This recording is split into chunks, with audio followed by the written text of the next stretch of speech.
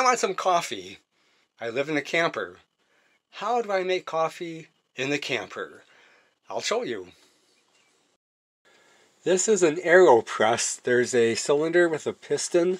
I bought this at World Market in Oregon about two years ago. This is a filter holder. It uses paper filters that are cut precisely to fit that holder exactly so no coffee grains will leak out. It's good to pour a little bit of water in there to hold the paper in so when you later turn it upside down the paper doesn't fall out. Eh, a little sloppy. So I set that aside. Put that paper uh, back up there. Whoops. Uh-oh. and uh, I just hide it. Okay. Anyway. So there's my coffee. It's a uh, cheap yacht gut coffee, nothing fancy. I'm going to add other stuff to the coffee later, so I don't use anything fancy. But I might have some expensive gourmet coffee sometimes. This is cheap stuff. One scoop. Put the scoop back, and we'll put the coffee away. I find one scoop's about the right amount for me. I pour water into a kettle, make sure there's enough water. You don't want to have too little and run out. Turn on the gas and light it. Put the little bit in. And we wait. It takes several minutes for this gas stove to heat up that kettle. So I go off and do something else, catch up on the news of the day, maybe practice guitar for a couple minutes. And it keeps heating. I think we're getting close.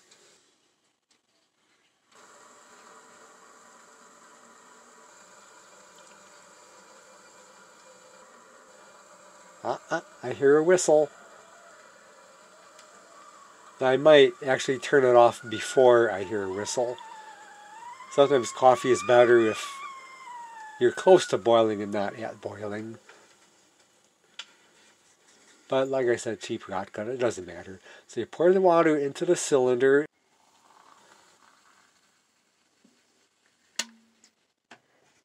And stir it. That's a stir. It comes with the AeroPress. Perfectly sized. You're not trying to beat it into a froth or anything, just a couple of swirls around. Filter goes on top, screws on with one hand. I'm using the other hand to hold the camera, so a few things are a little bit tricky. Get the cup ready. I let it sit maybe a minute or two or ten. But at some point, it's ready. I might not, might not wait at all. Then you push down on the piston, not too hard. You just want to push enough to squeeze the coffee through the filter.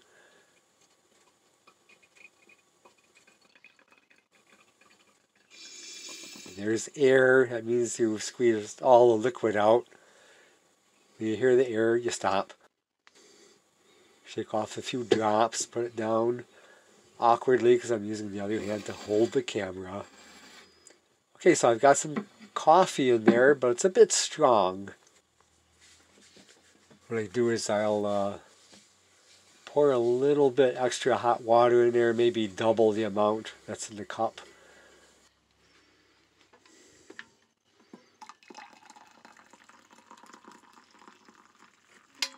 Look at all that steam.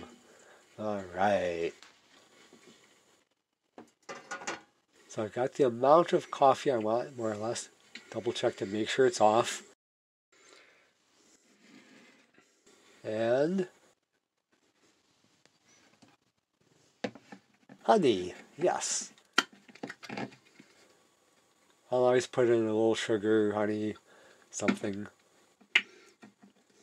Usually not one-handed like that, but that's, that's not all. There's a little more. I've got some almond milk.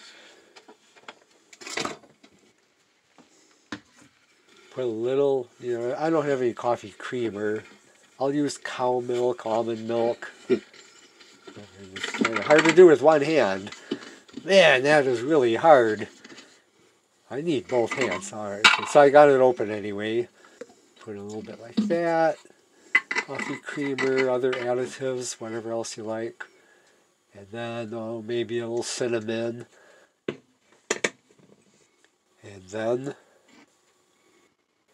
mmm, have a taste. And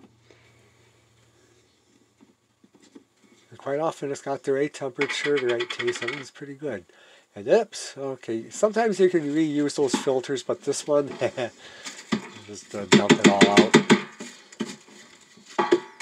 Coffee grounds, man, it's awkward with one hand.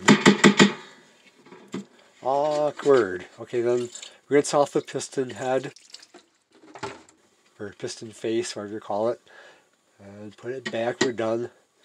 It's there for tomorrow. And you're all set. And you drink up.